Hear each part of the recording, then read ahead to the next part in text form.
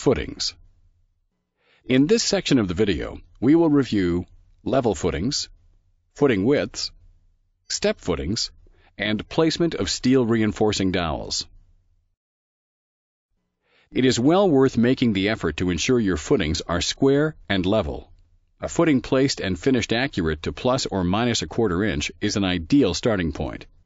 If the footings are not within these tolerances, it may be necessary to shim up or trim the bottom of the first course of block to make a level surface for the following courses and to keep your corners plumb and wall lengths correct. Footings need to be laid out to accommodate the width of the form. For example, on a 20 inch footing, the center line of the footing becomes the center line of the wall. We recommend you make your footings a minimum of 20 inches wide to accommodate the 11 and a quarter inch wide blocks.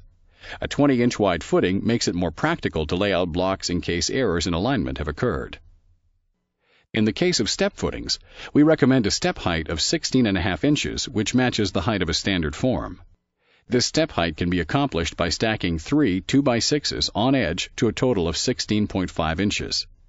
Check with local building officials as to the maximum rise and minimum run for step footings permitted in your area, or refer to the appropriate building code.